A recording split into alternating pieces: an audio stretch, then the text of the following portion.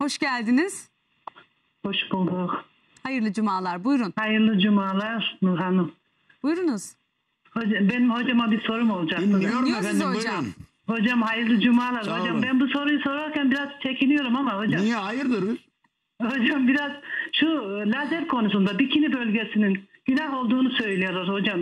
Ne? İleride yani bu sorunu biraz çocuklardan filan çekinen ihtiyarlar için Ne- hazırlıklı olsa lazer yaptırsa diyorum. Tamam soracağım Hani şimdi hocama. çekiniyorlar, utanıyorlar ya hocam yaşlanınca bu şeylerden. Tamam Bikini peki. bölgesi. Teşekkür ederiz sağ olun. Hocam e, hanımefendiler bikini bölgesine lazer yaptırırlar. Ee, tövbe ya. Benimle ne alakası var onun? Hocayla ne alakası var? Tövbe ya Rabbi. Günah mı diye soruyor. ya bir bay bir Ramazan Tövbe bir estağfurullah. Ağustos'a gelmişti Ramazan bir Ağustos'a bir televizyon kanalında efendim program yapıyoruz Ramazan programı hafta beş gün üçüncü gün bikiniyi tartıştık biz bikiniyi üçüncü gün Heh, bikiniyi tart bizim burada Bilal var ya şeyi idare ediyor Söylemezsem Bizim- olmaz. Ha, ha, onu idare ediyor. Bilal o zaman beni götürmüştü sağ olsun. Efendim üçüncü gün biz bikiniyi tartıştık. Dedim ki ya Allah aşkına bu Ramazan'da söylenecek söz mü bu? Ana, ne olur canım giyse filan. Dedim ki ya milleti niye günaha sokuyorsun? Bakmasın dedi. Baktırma dedim ben de. Hocam şöyle ama mesela böyle bir takım hurafeler var.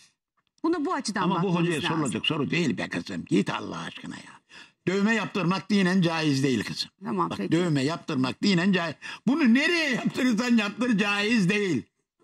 Evet bitti. Şimdi şeyi bilemeyiz ki ama hocam yani kadıncağız biz ne diyoruz? Bak bizim program şu açık bir program. Diyoruz ki sor kafanda ne düşünüyorsan. Çünkü biz burada amacımız gerçekten doğru Sor bilinen ama- yanlışları düzeltmek. Amenna ama azıcık da sınırı olsun.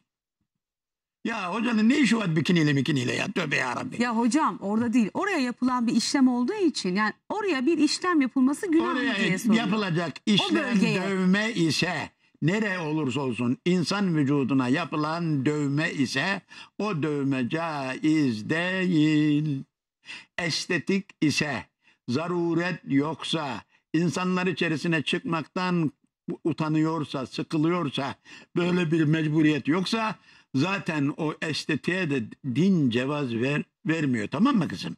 Kaldık öyle gizli kapaklı yerlerde filan şunlar. Bunlar hocanın işi değil. Hadi geç kız. Hadi evet.